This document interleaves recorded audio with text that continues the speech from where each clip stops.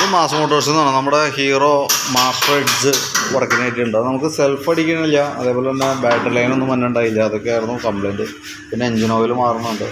അതൊക്കെയാണ് പറഞ്ഞിരുന്ന വർക്ക് കേട്ടോ. ഇപ്പം നിലവിൽ ബാറ്ററിയുടെ ഭാഗം നമ്മൾ ചെക്ക് ചെയ്യുമ്പോൾ രണ്ടായിരത്തി ഇരുപത്തിരണ്ട് ബാറ്ററി ഇരിക്കണേ. ആമറോണിന്റെ ബാറ്ററി രണ്ടായിരത്തി ഇരുപത്തിരണ്ട് മോഡൽ നമുക്ക് അതിന്റെ വോൾട്ട് കാര്യങ്ങളൊക്കെ നോക്കുമ്പോൾ പന്ത്രണ്ട് പോയിന്റ് ഏഴ് ഏഴ് വോൾട്ട് ഉണ്ട്.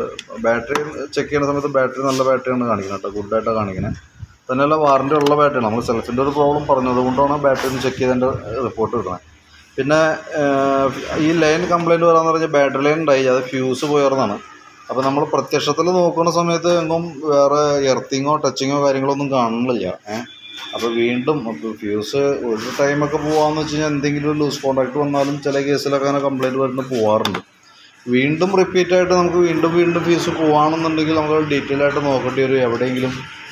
ബോഡി എർത്തിങ് ആവുന്നുണ്ടോ? വല്ല എലി കയറി കട്ട് ചെയ്തേക്കണതാണോ? ബോഡി എർത്തിങ് വന്നുണ്ടോ അങ്ങനത്തെ എന്തെങ്കിലും കേസ് ഉണ്ടോ എന്നുള്ള ദിവസം നമ്മൾ ചെക്ക് ചെയ്ത് നോക്കേണ്ടി വരും. പിന്നെ സെൽഫ് അടിക്കാത്തതിന്റെ കംപ്ലൈന്റ് നോക്കുന്ന സമയത്തുണ്ടല്ലോ. സെൽഫ് മോട്ടർ ഓൾറെഡി കംപ്ലൈന്റ് ആണ് അതിന്റെ കാരണം നമ്മൾ പല പ്രാവശ്യം ഇതൊക്കെ അഡ്ജസ്റ്റ് ചെയ്തൊക്കെ ഇട്ടേക്കണതാണ്.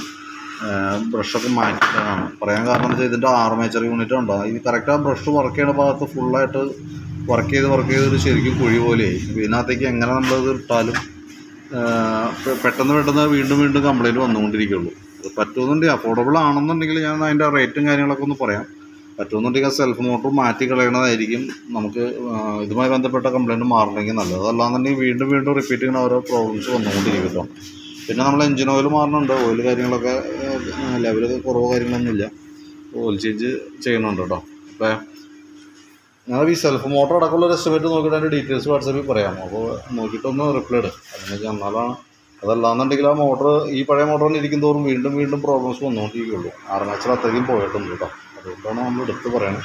അപ്പോൾ നോക്കിയിട്ടൊന്ന് പറയാം.